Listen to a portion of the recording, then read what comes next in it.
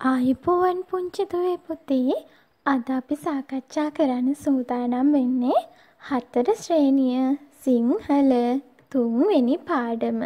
මොකක්ද පුතේ අපේ පාඩමේ නම? පොත් කුරුල්ලා. අනේ අපි කුරුල්ලෝ නම් දන්නවා. ඒ වුණාට අපි මේ පොත් කුරුල්ලෝ කියලා කුරුල්ලෝ ජාතියක් දන්නවද පුතේ? අපි තාම නම් දන්නේ නෑ නේද? අපි බලමු පුතේ මේ පොත් කුරුල්ලා කවුද කියලා. ඔන්න අපිට තියෙන්නේ පුතේ ලස්සනම ලස්සන කවියක්. අපි කියවලා බලමු මේ කවියෙන් කියලා තියෙන පොත් කුරුල්ලා කවුද කියලා. ඉස්කෝලේ නිවාඩුවට පොත් සාප්පුවේ. සාප්පුව කියන්නේ මොකක්ද පුතේ? කඩය. ඔන්න ඉස්කෝලේ නිවාඩු දුන්නම පොත් කඩේට ගිහිල්ලා පොතින් පොතට පියඹා යමි හරි සැහැල්ලුවේ. ඔන්න පුතේ මේ බබා මොකද කරන්නේ? ඉස්කෝලේ නිවාඩු දුන්නම පොත් කඩේට ගිහිල්ලා හරිම ආසාවෙන් පොත් තෝරනවා. පියඹා යමි හරි සැහැල්ලුවේ කියන්නේ මොකක්ද පුතේ? මේ බබා ආසාවෙන් පොතින් පොත අරගෙන හරිම ආසාවෙන් පොත් තෝරනවා කියන එක. තාත්තාගේ කොටු කමිසයේ උඩ සාක්කුවේ බර අඩු වෙනවා දැක්කම ඇති කියා හිතේ. ආනේ මේ බබා හරිම හොඳ බබෙක් නේද පුතේ? මේ තාත්තගේ කොටු කමිසේ උඩ සාක්කුවේ බර අඩු වෙනවා කියන්නේ මොකක්ද පුතේ? ඒ කියන්නේ දැන් ඔන්න මේ තාත්තා සල්ලි දාගෙන ඉන්නේ තාත්තගේ කමිසේ උඩ සාක්කුවේ. එතකොට ඒ සාක්කුව සල්ලි වලින් තමා බර වෙලා තියෙන්නේ. ඒ වුණාට මේ බබා පොත් ගන්නකොට මොකද වෙන්නේ? තාත්තගේ සාක්කුවෙන් සල්ලි දෙන්න වෙනවනේ නේද කඩේට.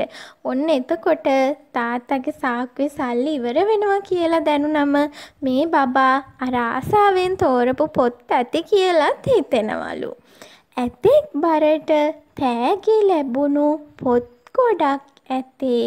මොකක්ද පුතේ ඇතෙක් බරට තෑගි ලැබෙනවා කියන්නේ? ඇතා කොච්චර බරයිද පුතේ? ගොඩාක් බරයි නේද? ඉතින් මේ ඇතෙක් බරට තෑගි ලැබෙනවා කියන්නේ පුතේ ගොඩාක් තෑගි ලැබෙනවා කියන එක. ඔන්න මේ බබාට පොත් ගොඩක් තෑගි ලැබිලා තියෙනවා. පොතින් පොතට මං ගිය දුර දුටු කෙනෙකු නැතේ. පුතේ අපි පොත් කියවනකොට ඒ පොත්වල තියෙනව නේද ලස්සන ලස්සන කතන්දර. රාජමාලිගාවල දූපත්වල මුහුද යට අහස උඩ මේ තැන තැන හරිම වනාන්තර ඇතුලේ කතා ගොඩායි නේද? අපි පොත ගෙදර ඉඳන් හරි කියවන තැන ඉඳන් කියෙව්වට අපි ඒ කතන්දර දිගේ ඇවිදිනව නේද? අපි ඒ කියවන වෙලාවට කතන්දරවල ජීවත් වෙනවා. ඉතින් එතකොට ඒක වෙන අය දකිනවද? නෑ. කියවන කෙනා විතරයි දන්නේ එයා කොතෙන්ද යන්නේ මොනවද කරන්නේ කතාව ඇතුලේ කියලා. ඔන්න එහෙනම් මේ පොතින් පොතට මෙයා හරිම ආසාවෙන් කියවලා තියෙනවා පුතේ. කාටවත් ඒක පේන්නේ නෑ. ඒ උනාට එයාට ඒක දැනෙනවා. කවි රචනා කතා ගීත ලියූ කොළගොඩේ නමක් නැතත් කියවූ පොත් මතකයේ ඇත්තේ.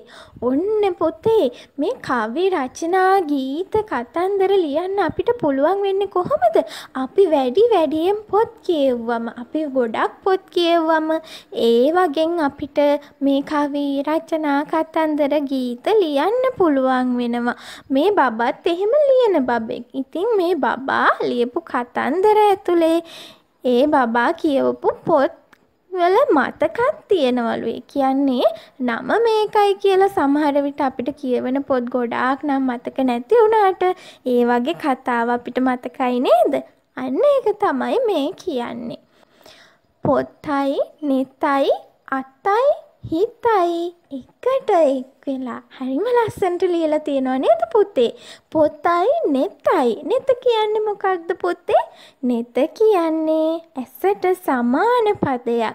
අපි පොත කියවන්නේ මොකෙන්ද පුතේ? පොත බලන්නේ මොකෙන්ද? ඇස් දෙකෙන්. ඊට පස්සේ පොත අල්ලගෙන ඉන්නේ මොකෙන්ද? අත් අර්ථයෙන්. අපි පොතේ දේවල් කියවන්නේ මොකෙන්ද? අපි ඇස් දෙකෙන් බලලා හිතින් තමයි කියවන්නේ නේද? ඔන්න පොතක් කියවනකොට එහෙනම් පොතේ පොතයි ඇස් දෙකයි අතයි හිතයි ඔක්කොම එකට එකතු වෙනවා. ඇඳේ වැටි පුටුවේ ඇදී පොළොවේ වැතිරිලා මේ බබා කොහොමද පුතේ පොත් කියවන්නේ එක්කෝ ඇඳේ වැටිලා කියවෙනවා නැත්තම් පුටුවේ ඉඳගෙන පුටුවේ ඇදිලා කියවනවා. එහෙම නැත්තම් පොළොවේ වැතිරිලා පුතාලත් පොළොවේ ඉඳන් පොළොවේ වැතිරිලා කියවනවා ලියනවා නේද? ඉතින් මේ බබා මේ කොයි විදියටත් පොත් කියවනවා හරිම ආසාවෙන්. ඒ විතරකුත් නෙමේ තව තැන්වලත් මෙයා පොත් කියවනවා. අපි බලමු කොහෙද කියලා පුතේ. තුරු සෙවනේ මල් සුවඳේ හීනයක් වෙලා පිටු අතරින් ඉගිලෙමි පොත් කුරුල්ලෙකු වෙලා. මේ බබා තුරු සෙවනේ කියන්නේ ගස් යට.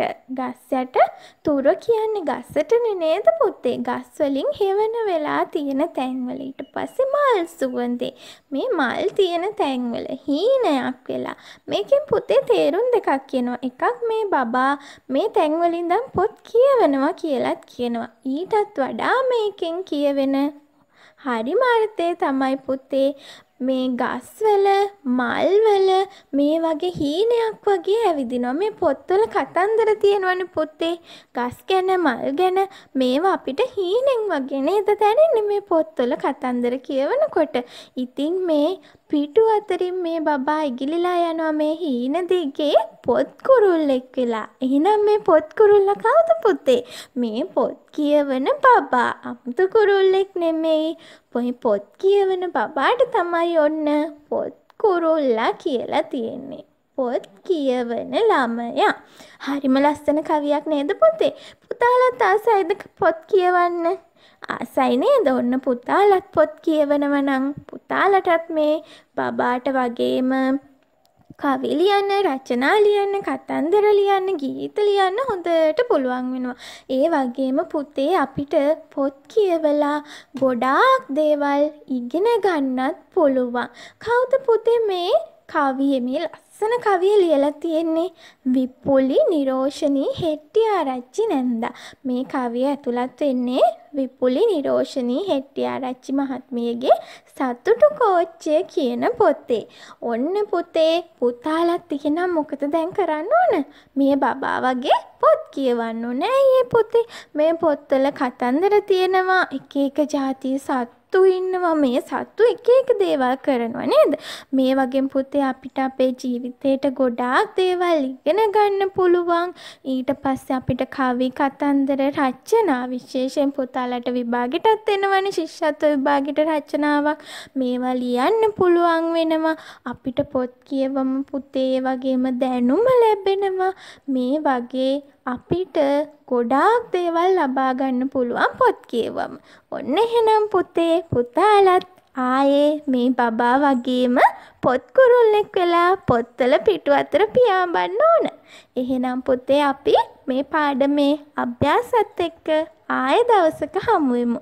එතෙක් දුවල පුතාලා හැමෝටම සුබ දවසක්.